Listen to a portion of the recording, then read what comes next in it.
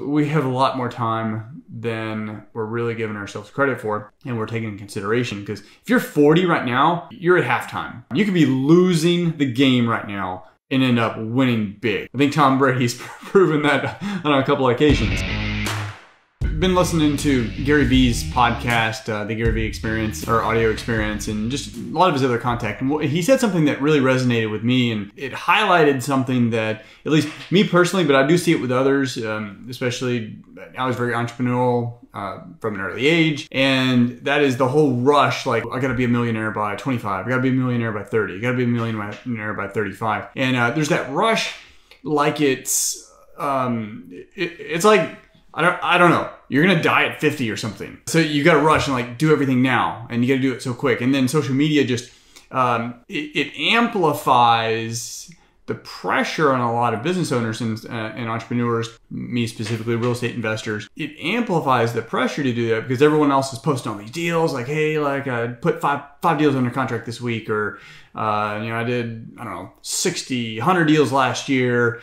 And there's a few problems with that. First is if you enjoy the process, actually enjoy the process that you're going through, both in a business and then just your overall journey through life, you're, you're going to find a lot more gratitude in it, especially if you're enjoying the process and not relying on the instant gratification. Because once you start relying on the instant gratification, like you need that instant gratification, you can step into a dangerous zone in your business or in your life because when that instant gratification stops, or if it starts to maybe get numb to whatever it was that given it to you, you're gonna have to go out and do something something else or do more of it, or it's gonna push you into a zone where bad things could happen.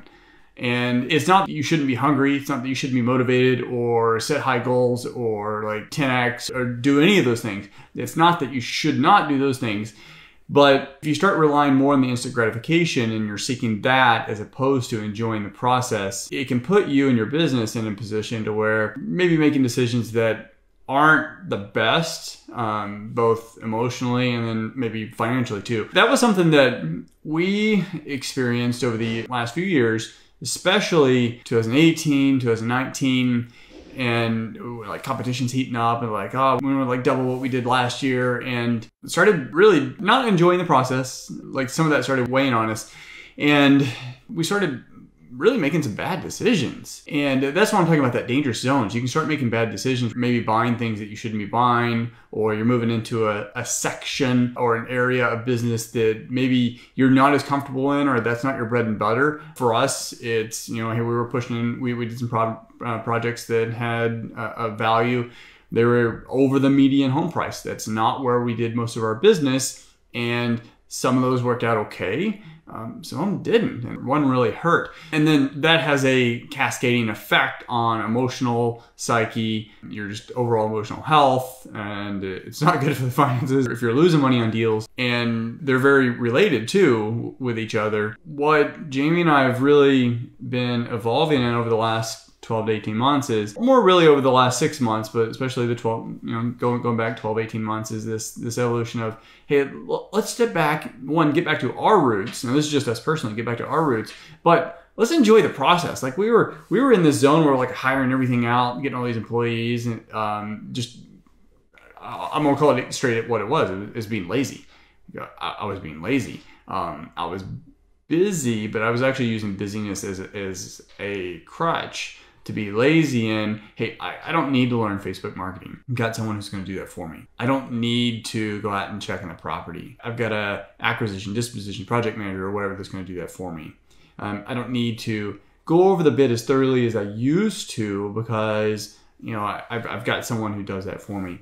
And that laziness um, because i was not enjoying that part of the process caused issues in our business. And regardless of what business you're in, that that's going to hold true. So enjoy the process. Remember that you have a lot more time than you think. And of course, we could all get hit by a bus tomorrow or get cancer or COVID and like everything could get turned upside down.